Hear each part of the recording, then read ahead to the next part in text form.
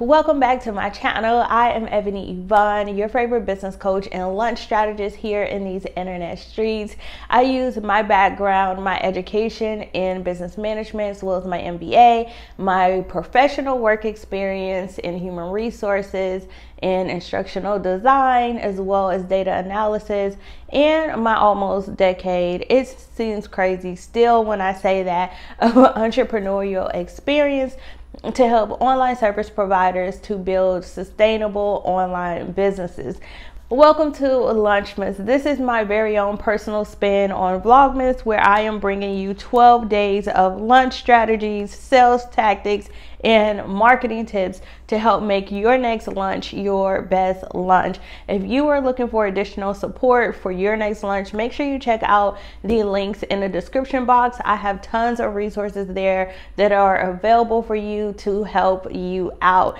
In today's video, we are talking about how to build your wait list for your course, your membership, your um, whatever lunch you have coming up. So in my previous lunch strategy videos that I've done in the past, one question that has come up a lot is about what goes on your course waitlist page, um, what should you have, how should you structure it, and just all the deets, right?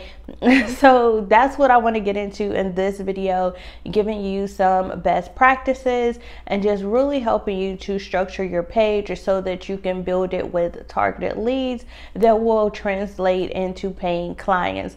So some of you may not know, but one thing that I offer in my business is a full service lunch support for um, my advanced clients. And oftentimes when I am reviewing their sales pages, looking at their assets, then I will notice like, why is this written like this, right? I will see people who have um, wait lists that is all about them. Like sign up for my wait list. I'm going to be dropping a new product soon. And that type of language isn't going to get you sales. I've seen people who have course wait list or a lunch wait list where the landing page is literally like you have to scroll down and it has like the header, it has all this information who we are, what we do, yada, yada, yada, yada, yada. Do this, follow us on social media. And that is not how your waitlist should be designed, especially if you want to get sales, especially if you want to get people to actually join your waitlist. So I talked about this in a previous video where when you build in the sales funnel video, I talked about how as people progress on their customer journey to getting to the sales, they're going through your sales funnel. Every step in your funnel should only have one clear call to action, right? And the same is true when it comes to building your lunch waitlist on your lunch waitlist page, you don't want to have any distractions. You want it to be fluff free and you want to have one single call to action. What is the call to action? to sign up for the waitlist. You can say that a million different ways, but the action that you want them to take is to actually enter their contact information, their name, email address, maybe even phone number, so that they can opt in to your waitlist and be notified for your lunch, right? so keep that in mind as I go through the different components of your waitlist and what it is that you need to have. So let's get into some best practices when it comes to setting up the actual landing page for your waitlist. First things first is you want to make sure that you keep the copy, the actual words on your sales page very brief and succinct and to the point. You don't want to go on and on and on about how awesome you are. You want to tell people why they should sign up for the list. You want to let them know what they're getting and you want to make it about the viewer. So when I say make it about the viewer, you want to incentivize them to actually enter their contact information. So why should they join your wait list? Uh, I know you want them to join your wait list so that they can buy your product or service, but what's in it for your customer? As people in general go throughout society, most people, the average person is always thinking, like, what's in it for me? So, on your sales page, you want to let them know why they should join your waitlist. Are they going to get early access to your products and services? Are they going to get a special discount? Are they going to get some type of bonus or free gift for being on the waitlist and being one of the first people to enroll, right?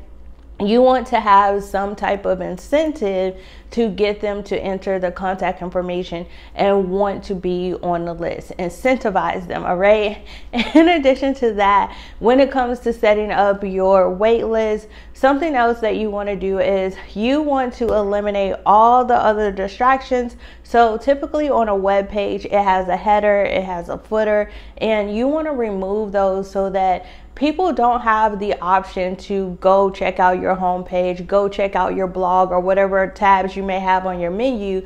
The only option they have when they land on your, your wait list is to enter their contact information to join the wait list. Eliminate all the other distractions, the header, the footer, any other links, the social shares, so that they don't get distracted and they actually take the call to action that you want them to take in addition to that is for the most part, you want to eliminate the scroll bar. If people have to scroll down on your waitlist page, it is too long, sis. Sis, a waitlist should not be that long. You don't need a scroll bar on the side.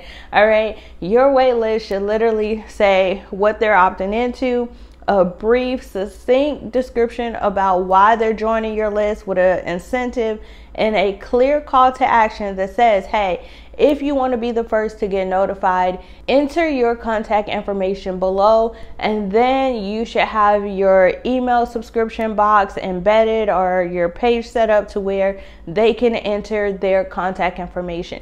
At a minimum, I always tell people you should get their name, you should get their email address.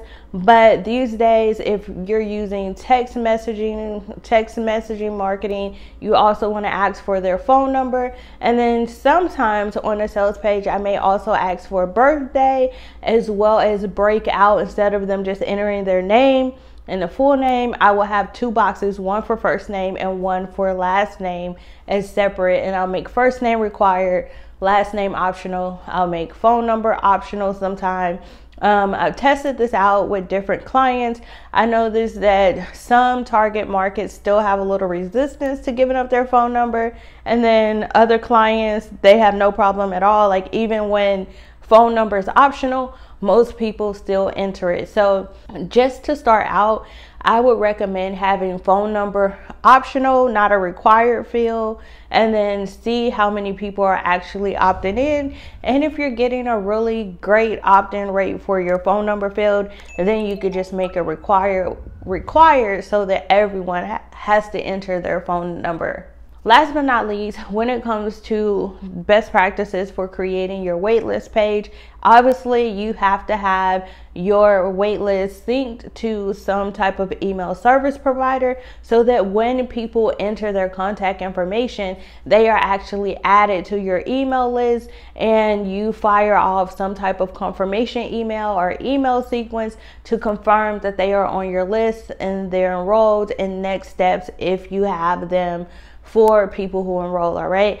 So those are the best practices that I have for you. I know that this has been a very popular question that has come up a lot in the comments of previous videos. So if you still have questions about how to build your waitlist, then drop your questions below in the comments as well. And then I will either answer them or I will make another video.